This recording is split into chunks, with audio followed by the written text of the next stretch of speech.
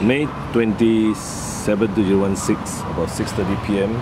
You can see this terrapin had eaten, had a good appetite from the, the other video and now this video just shows you the pebbles which have been flushed out from the large colon. You can see there are more than 50 pieces, pebbles and stones and that is on the right on the left you can see a, a dead eggshell plus one stone that was also impacted in the end of the colon near the rectum of the vent there was no rectal prolapse luckily and uh, it's only about 9 a.m. the terrapin came and now it's 6.30 p.m. So the treatment was about 3 hours ago, about 3 p.m. And you can see that he has fully recovered, she has fully recovered and is quite active and uh, even past motion as well. And you can see still hungry, looking for food.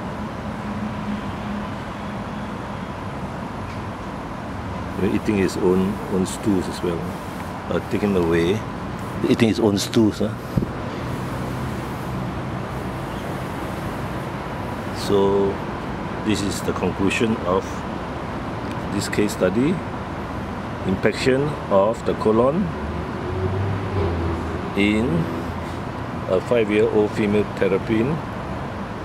Impaction is from pebbles and stones left on the floor of the aquarium and uh, leading to obstruction, difficulty in urination and passing stools and this caused a terrapin to become ill and to stop eating for the last four days. Toa Vets Singapore, May 27, 2016, 6.30 p.m. You can see still that the appetite is still there. Which is good news. It's so hungry. It's not eaten for four days. This is Toa Vets Industrial Park Lorong 8 evening time.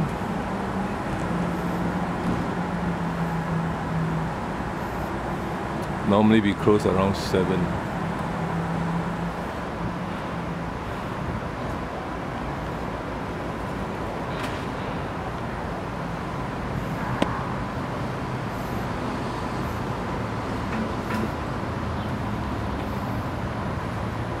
blue skies blue and clear skies industrial park Toa Payoh Lorong 8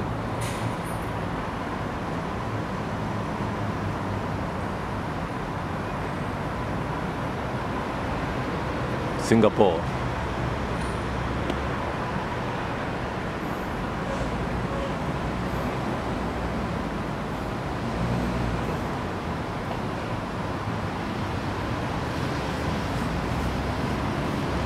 good news.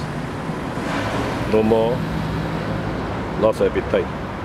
Five-year-old female terrapin with impaction of the colon something like impaction colic in a racehorse. You have to remove the impacted stuff which is stones and pebbles. Otherwise the health will deteriorate and the terrapin will die